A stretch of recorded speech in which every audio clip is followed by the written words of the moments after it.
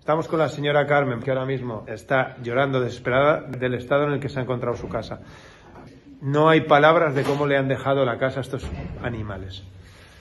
Pero lo más importante, vamos a ayudar a la señora Carmen a que pueda vivir en su casa. Por favor, compartir. ¿Cómo sonarían estas palabras realizadas desde la mesa de lectores españoles? Estamos con la señora Carmen, que ahora mismo está llorando desesperada del estado en el que se ha encontrado su casa. No hay palabras de cómo le han dejado la casa a estos animales. Pero lo más importante, vamos a ayudar a la señora Carmen a que pueda vivir en su casa. Por favor, compartir.